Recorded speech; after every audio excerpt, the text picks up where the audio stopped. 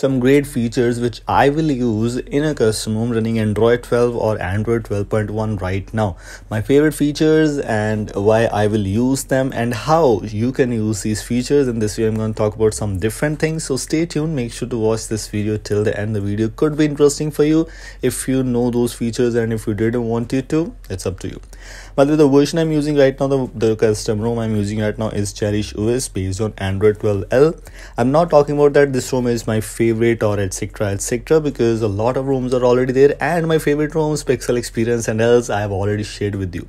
I'm just going to talk about some of my favorite features, some of my favorite features which I always use or some of my regular use features which I use on my devices running custom ROMs based on Android 12 or Android 12L if we talk about this device specific or maybe a ROM specific themes called a Cherish OS, in this one I always try to use this theme which is OS 12 GApps and this available in previous update also it's available in the latest update also. This thing which almost available in all the customers called a custom monet theming. Yes, I sometimes don't want to use the wallpaper based theming so this custom theme works perfectly fine and I always use this thing but if this feature is not available for you you can try out the repainter app from the play store too. We also have the fonts customizations which i 99% of times use and which font i always use most of the times Manrope which is by default included in evolution x os and also google sans is also one of my favorite and a lot of users always use this. Last one is harmony os sans these three fonts i always try to use on my devices if we talk about the icon pack i think so most of the users will definitely recommend pui which is pavlova ui i. Also use this icon pack because it is absolutely fine. You can also use the arches one if you want to but pui feels quite good.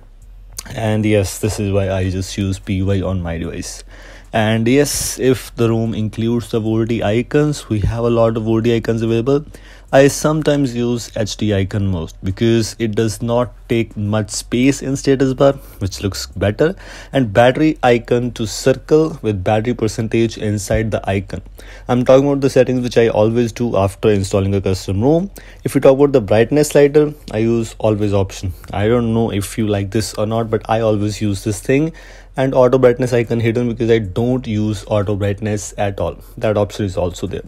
If I move on to the system navigation, you also have the option of IME button space and that's already disabled. I always disable this. If this feature is not available, I always use a Magisk module for that. So yes, this feature is must and if it is included in a custom ROM, I'll definitely give plus points to that one for sure power menu. Of course we need advanced reboot options and we need screenshot option. Other than else those are some basic things. But two things for sure you need in in device or etc charging animation is just kind of optional. If it is available i'll use this. If it is not it's not a big deal for me. But if you move on the gaming mode I have enabled it, but I don't use it at all. If you know me from some time, I don't play games, so I don't use gaming modes at all. But other than else, the settings are basic things which I just want to let you know I have already shared with you. I hope you like this, and this is all from today's short and simple video. If you like this video, don't forget to like and share this. As always, I'll see you in the next video. Until then, goodbye.